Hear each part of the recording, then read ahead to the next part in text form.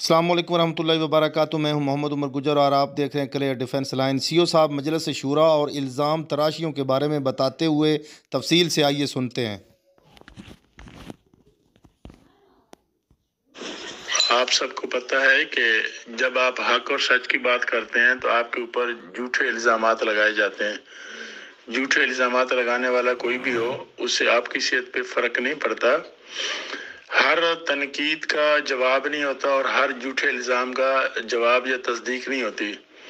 अगर आप लोग इस चीज़ में पढ़ रहे हैं कि जी उसने क्या कहा और हमने क्या जवाब देने हैं और एक दूसरे को नीचे दिखाने में लग गए तो जिस काम के लिए हम इकट्ठे हुए हैं, उस काम से हम दूर, कोसों दूर चले जाएँगे और हम एक दूसरे की ईसने उछालने में लगे रहेंगे और हम एक दूसरे की कमियों कोताहियों को देखते रहेंगे।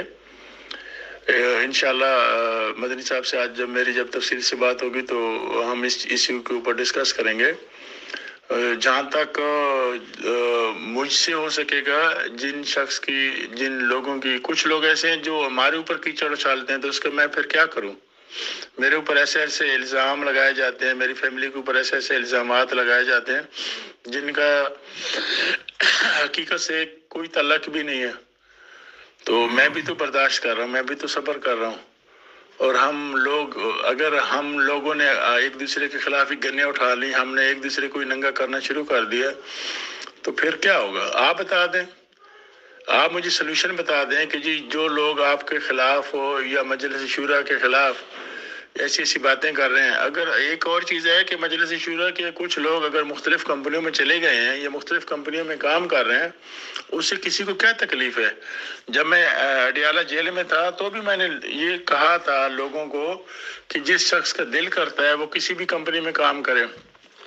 एक शख्स के पास अगर कुछ अर्निंग है, एक शख्स के पास कुछ सेविंग है, एक शख्स के पास कोई बिज़नेस है, और वो कुछ भी कर सकता है तो ठीक है, लेकिन एक शख्स के पास जहर खाने को भी पैसे नहीं है। और यहाँ पे बड़े बड़े उलमा बैठे हैं, वो बेहतर बता सकते हैं कि ऐसी चीज़ें जो हराम होती हैं, जब आपके ऊपर आपकी जान पे बनी हो, जब आपका जीना हराम हो चुका हो तो उन चीज़ों को भी इस्तेमाल करने की इजाज़त दी है अल्लाह ने।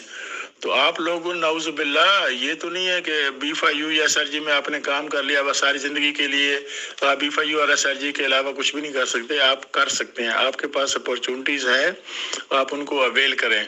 हाँ जब हमारा सिस्टम चले या हम, पहली बात तो यह है कि मैं कोई कंपनी ना बनाऊँगा, ना बना सकता हूँ। पाँच साल तक तो ये पाबंदी है।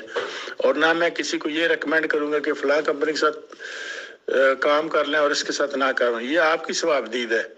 जो आपको अच्छा लगता है वो करें।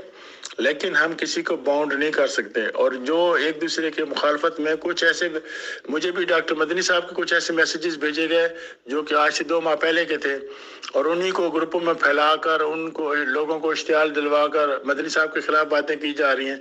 दूसरी तरफ़ से यहाँ की कुछ लोगों को उनकी बातें सुना के एक दूसरे को इश्तियाल दिया जाता है कि ये मुतनाज़ा बने। मजलिस शुरा को मुतनाज़ा बनाने के लिए साजिश की जा रही है।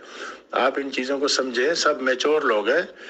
बच्चे तो नहीं है कि उनको समझ नहीं आ रही कि कौन क्या गेल, डर्टी खेल खेल रहा है। थैंक यू वालेकुम